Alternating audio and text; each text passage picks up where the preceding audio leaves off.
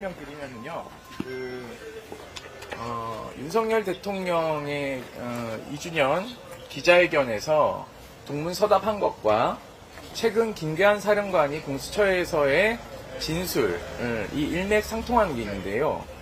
어, 진술을 거의 다 했지만 대통령 언급 부분에 대해서만 묵비권을 행사했습니다.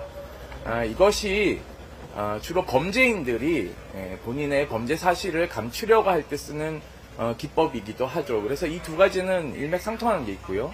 아울러서 어, 보충 설명을 조금 더 드리면 경북경찰청이 현재 갑자기 예, 10개월 동안 가만히 있다가 임성근 사단장을 소환했습니다. 어, 대통령이 경찰과 공수처에서 수사하면 된다라는 말이 떨어지자마자 경찰이 비겁하게도 이때까지 가만히 있다가 어, 이런 짓을 하는데요.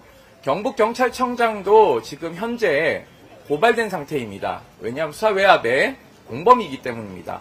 수사외압의 공범이 이 진실을 파헤치겠다고 현재 열심히 수사하는 척 하는 것도 어, 국민들이 굉장히 어, 불만족스럽게 보고 있다는 점을 어, 상기시켜 드리고 싶습니다. 아울러 공수처와 경찰에서 어, 수사를 진행하고 있기 때문에 지켜본다라고 하는데요. 과연 공수처가 이시원 공직기강 비서관이 연루된 대통령실을 압수수색할 수 있을까요?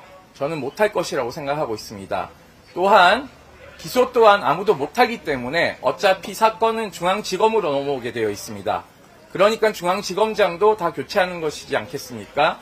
이런 부분에서 어, 윤석열 대통령은 앞에서는 대- 총선 패배 이후 어, 야당과 협치를 얘기하고 있지만 뒤에서는 본인이 수사외압의 주체라는 것이 들통날까봐 어, 없던 민정수석도 부활시키고 현재 이 문제를 정면 돌파하기 위한 어, 방어 작동이 다 어, 작동되고 있다. 전혀 정비는 이미 끝났다라고 판단하고 있습니다. 28일 날 부결되면 22대 때는 사실상 저는 어, 특검법 통과는 매우 어려울 것이라고 생각하고 있습니다. 다시 한번 강조드리지만 7월 19일, 19일은 어, 최수근 상병 1주기입니다.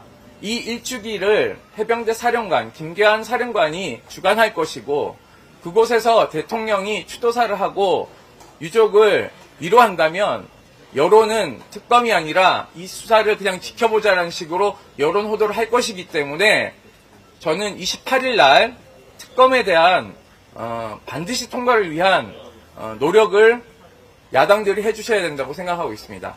이상입니다.